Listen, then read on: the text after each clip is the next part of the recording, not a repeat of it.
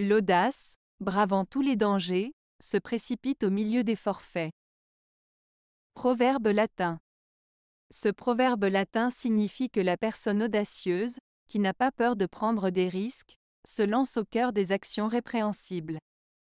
En d'autres termes, celui qui est téméraire et intrépide peut se retrouver impliqué dans des situations dangereuses ou moralement condamnables. Cela met en garde contre l'impulsivité et l'irresponsabilité qui peuvent mener à des conséquences néfastes.